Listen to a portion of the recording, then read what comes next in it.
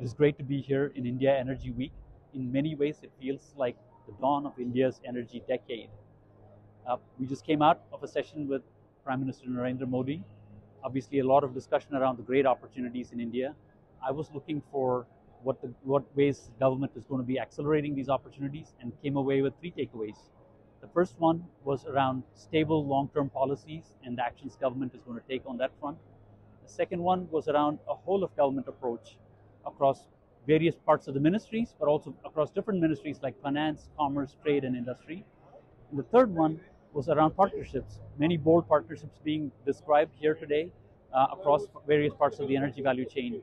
So I'm really excited to hear uh, the government's ambition, but also its move to action. Looking forward to a great Indian energy decade.